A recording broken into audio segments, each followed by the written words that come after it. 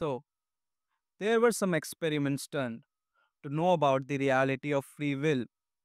One of them was Benjamin Libet. In this, participants were asked to move their fingers at a moment of their choosing and to not what they felt the urge to move. It was detected that the brain activity readiness potential was up to 350 milliseconds before they decided to move. It was proven and finded that the brain decides before we become aware of our actions.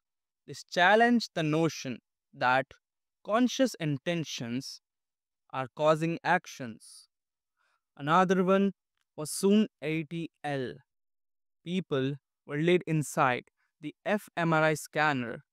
They were asked to decide to press left or the right hand button whenever they wanted to.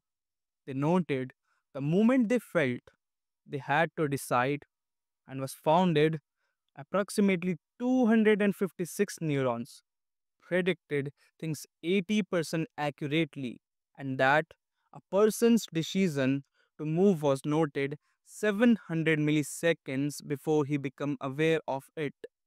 These results proved that our conscious mind just observes the already made decisions and pretends to be the one who made the decision. But in reality, these decisions were prepared unconsciously in the brain. It says we are not the conscious authors of our actions. These are all about the unconscious origins of our brain.